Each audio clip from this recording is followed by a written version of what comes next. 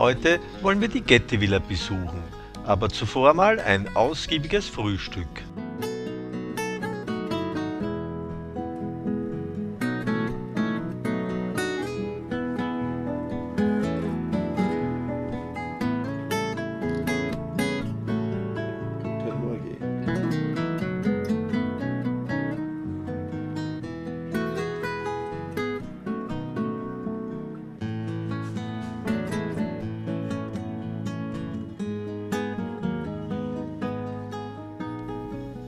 Na dann wollen wir uns mal auf den Weg machen. Ab hinunter in die Parkgarage.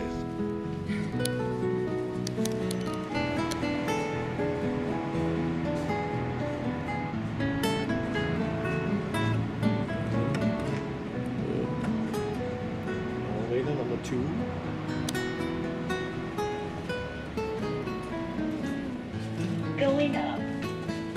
Oh, we're going down now. Whoop.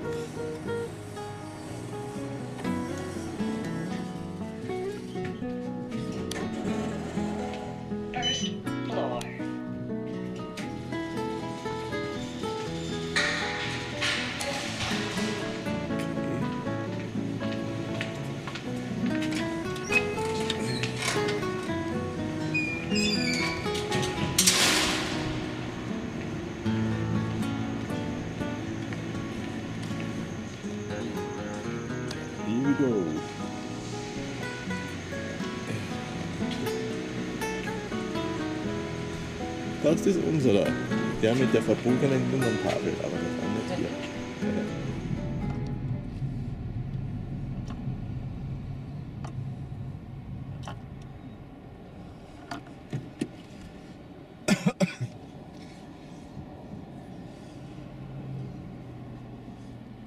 Noch neun Minuten bis zur Getty Villa. Wenn es wahr ist. Laut Google Maps dauert die Fahrt von uns zu Hause zur Getty Villa 22 Minuten. In Wahrheit wird es eine knappe Stunde. Am Pacific Coast Highway geht es allerdings schon etwas lockerer dahin.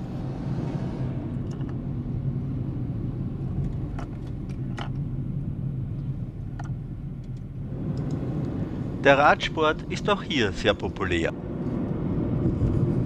Wundert mich, dass das erlaubt ist. Und das so ist wie bei uns hier den Radfahrern alles erlaubt. Ja, aber das habe ich jetzt auch noch gesehen. Das ist schnell.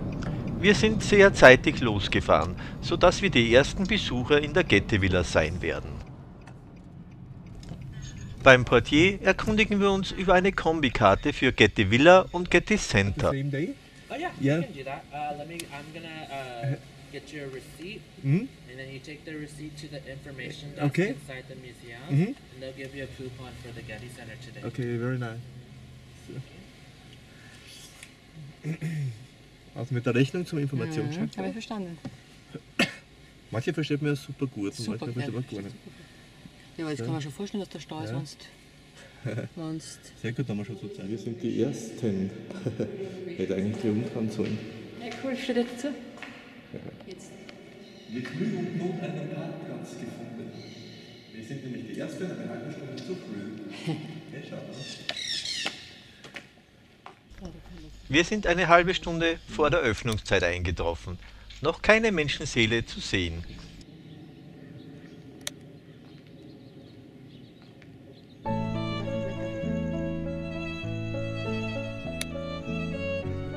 Die Getty Villa liegt in Pacific Palisades. Sie ist eine der beiden Standorte des Paul Getty Museums. Das Gebäude ist einer römischen Villa nachempfunden und beherbergt heute die Antikensammlung des Museums.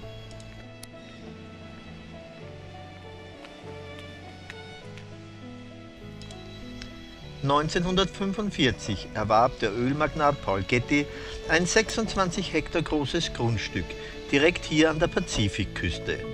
Neben einem Wohnhaus errichtete er 1954 im Anschluss daran eine Galerie für seine rasch wachsende Kunstsammlung. Als diese Präsentationsmöglichkeit wegen der weiter wachsenden Sammlung zu eng wurde, plante er ein eigenes Ausstellungsgebäude. Er ließ dazu auf der Rückseite des Grundstücks einen Nachbau der Villa dei Papiri in Herculaneum errichten. Da diese aber nicht komplett ausgegraben ist, handelt es sich um eine freie Nachschöpfung. So finden sich hier auch architektonische Anleihen anderer antiker Gebäude aus Pompeji und Stabiae zum Beispiel. Im Jahre 1974 wurde das Museum der Öffentlichkeit zur Verfügung gestellt. Paul Getty selbst starb 1976 und stattete das Museum mit einer reichhaltigen Erbschaft aus. Da es Widerstände der Anrainer gegen eine Erweiterung des Museums an diesen Standort gab, wurde in den 1990er Jahren nach den Plänen von Richard Meyer ein zweites Museumsgebäude weiter östlich und landeinwärts an der Interstate 405 errichtet, nämlich das Getty Center. Anschließend wurde die Getty Villa ab 1997 einer großzügigen Renovierung unterzogen und am 28. Jänner 2006 wieder neu eröffnet. Der Eintritt in die Getty Villa ist übrigens gratis man muss allerdings vorab im Internet Eintrittskarten bestellen, mit genauer Angabe des Datums und der Uhrzeit des Besuches. Dadurch wird der Besucherstrom in der Anlage reguliert.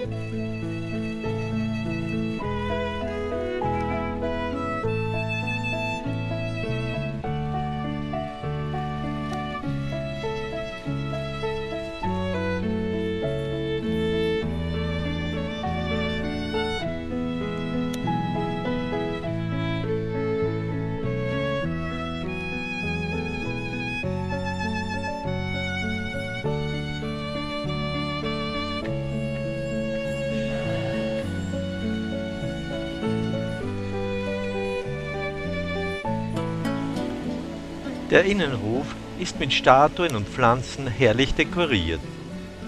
Die Säulen sind den Blättern des Akanthusbaumes nachempfunden.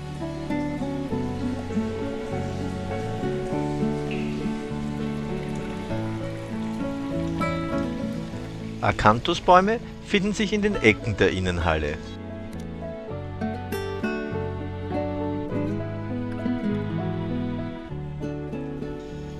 Das Wasserbecken wird von den Statuen von fünf jungen Frauen umrahmt.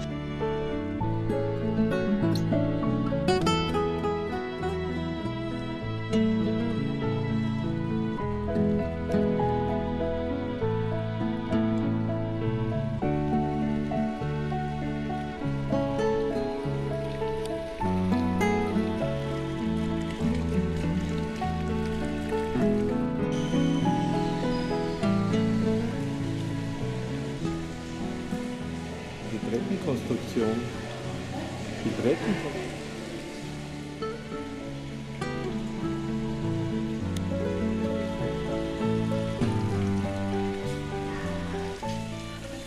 Ein Durchgang führt in den Ostgarten.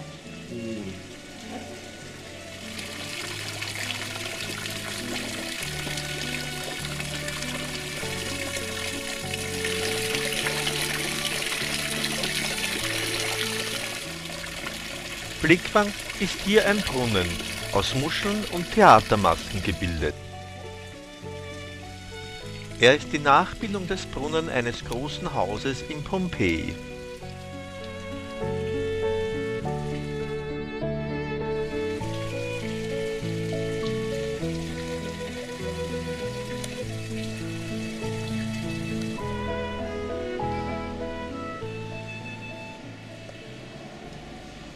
Modernen Treppen führen hinauf in den ersten Stock.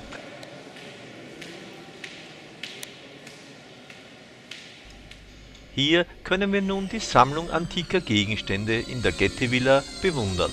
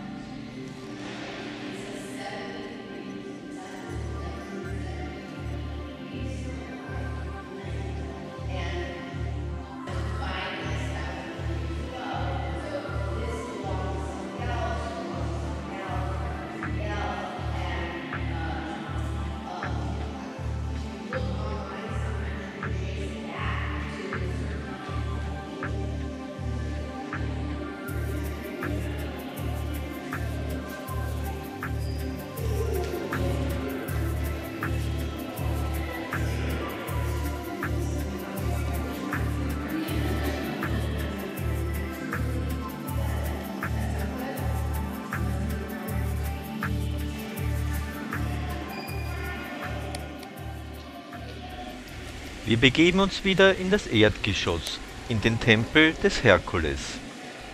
Der Boden ist eine Nachbildung einer Villa aus Dei Papiri.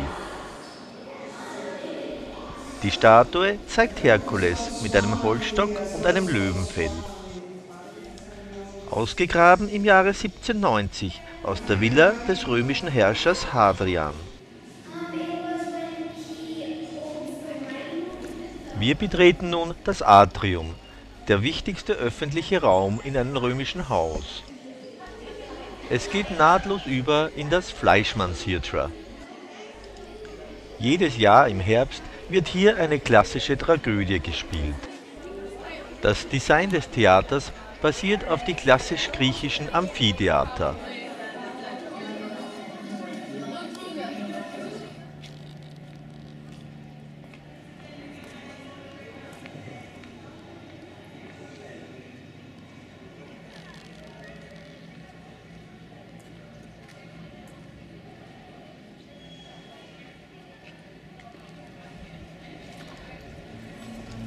Für einen Kaffee oder Imbiss zwischendurch gibt es hier auch ein kleines Café. Wir sind jetzt wieder zurück im Kräutergarten der Getty Villa. Die meisten römischen Villen hatten ja einen formalen Grüngarten und eben einen Kräutergarten. Hier wurden Obstbäume aus dem Mittelmeerraum angepflanzt, blühende Sträucher und Kräuter, die von den Römern zum Kochen und als Medizin verwendet wurden.